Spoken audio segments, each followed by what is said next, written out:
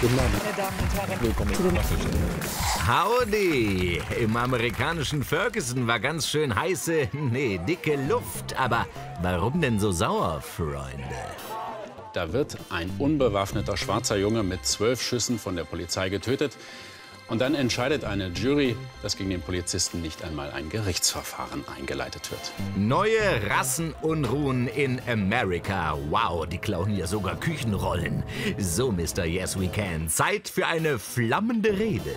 Wir sind eine Nation, die auf Rechtsstaatlichkeit errichtet wurde. Deshalb müssen wir die Entscheidung der Grand Jury akzeptieren.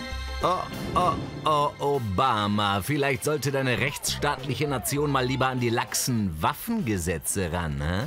In Missouri benötigt man noch nicht einmal einen Waffenschein. Das erklärt auch, warum in Amerika ein Polizist nicht lange fackelt. Ja, Obama hat auch nicht lang gefackelt. Der hatte schon einen Tag später wieder Wichtigeres zu tun. Truthahn segnen. Sei gesegnet, du weiße, große Gockel. Mal wieder Zank im großen Koalitionskindergarten. Das Koalitionsklima wird herbstlich kühl und doch eher etwas ungemütlich. Und der schönste Streit ging um. Tadam! Die schwarze Null. Welche? Die? Oder diese hier? Oder gibt es bei euch etwa noch mehr Nullen?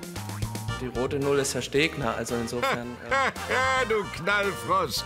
Na komm, du rote Null, du darfst auch noch mal stänkern. Also mit Nullen kennen die sich einfach besser aus in der CDU. Ach, Kinder, hört auf, euch zu balgen und ab ins Bett, ihr Schnulli-Nullis. Mal sonst noch was? Ach ja, die Bahn feiert mal wieder Rekorde. Die Bahn hat nach einem Zeitungsbericht einen traurigen Rekord aufgestellt. Sie ist danach so unpünktlich wie nie. 3.787.237 Minuten insgesamt zu spät. Macht zusammen über sieben Jahre Verspätung in nur einem Jahr?